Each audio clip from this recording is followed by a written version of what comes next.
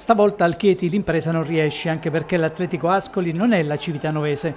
La Seccardini Band si conferma squadra da trasferta. Dei 24 punti in classifica, ben 16 sono stati conquistati lontano dallo stadio amico, ma soprattutto ribadisce il suo ruolo di mina vagante del girone F, mostrando appieno i suoi pregi, ovvero corsa, organizzazione e qualità di fronte a un Chieti spento, disattento e troppo compassato, il peggiore visto all'Angelini. Tanti, troppi anche gli errori individuali in un pomeriggio di bel sole iniziato all'insegna della musica con le canzoni del sempreverde Albano Carrisi e il saluto di Roberto Alessi, direttore di Novella 2000, invitato personalmente dal patron neroverde Altair d'Arcangelo. In mezzo le suggestive immagini dei palloncini rossi e delle scarpe rosse, simboli che anticipano il lunedì, giornata internazionale per l'eliminazione della violenza contro le donne. Le scelte. Ignoffo riconsegna la maglia da titolare al portiere Mercorelli dopo la maxi squalifica. Per la regola degli under, Oddo gioca nel tridente al posto di Touré. Cambio non forzato a centrocampo con Cordova al posto di Casciano.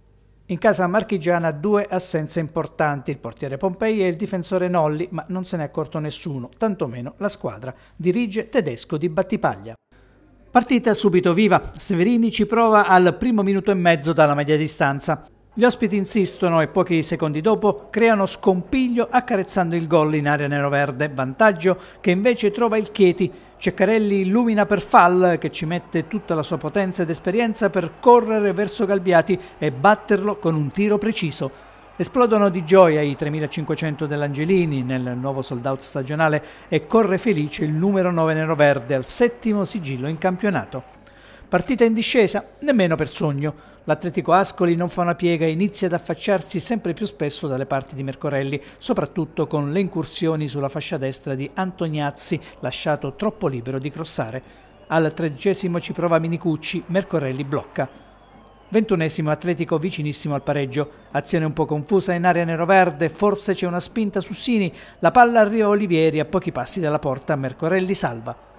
Trentesimo atletico pericoloso anche nelle ripartenze, Clerici conclude al lato di poco.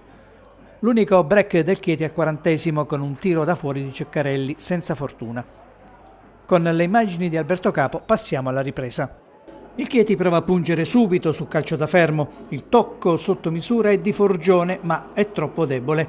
Tre minuti e gli ospiti pareggiano. Punizione sul secondo palo dove la corrente d'Alessandro elude la difesa in sacca di testa. Primo cambio Chieti all'undicesimo fuori Cordova per Casciano.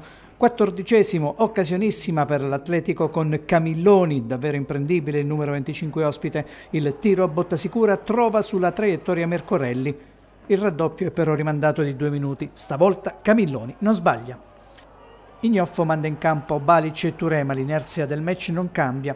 In due occasioni al diciottesimo e poi al venticinquesimo Camilloni potrebbe triplicare, ma non è fortunato. Ancora cambi sui due fronti, partita un po' spezzettata, l'ultimo sussulto è del Chieti che al 42esimo potrebbe anche pareggiare, Ceccarelli serve falli in area ma stavolta il centravanti colpisce male.